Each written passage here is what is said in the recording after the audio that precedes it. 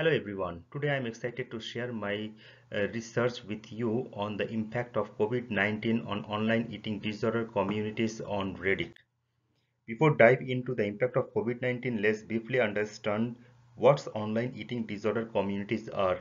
These are the virtual space where individuals share experience, support, and resource related to eating disorder such as anorexia nervosa, bulimia nervosa, and binge eating disorder.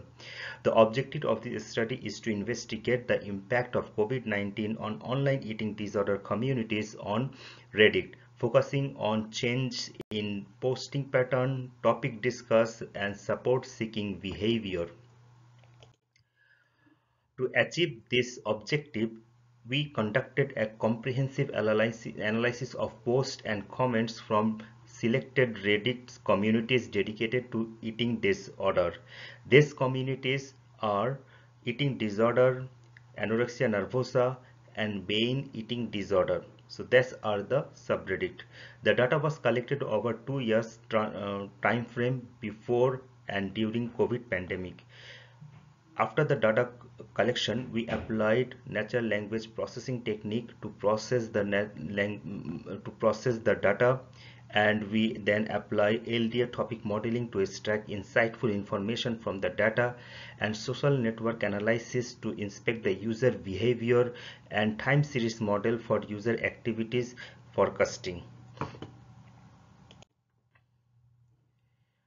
In the result section, we can see on the left side we can uh, we can see the left side the topic de, uh, de, decide the topic discussed in the in the pre-pandemic and the light side we can see the topic decide in the mid-pandemic we can see in we can see an increase in covid related post and comment increase in posts related to anxiety stress and body image concern the during pandemic.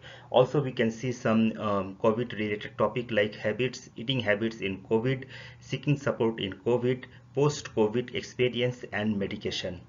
So shift in discussion towards coping mechanism and virtual support strategies for other result we can see uh, the full paper this study was a comparative conduct um, comparative content analysis using LDA topic modeling. We have seen a significant surge in surge in in COVID related activities. So our study wa was based only US demographic data. For future work, we will incorporate with other regional data also. And we would like to thanks NSF ES, ES, EPS core for assisting this work. Thanks.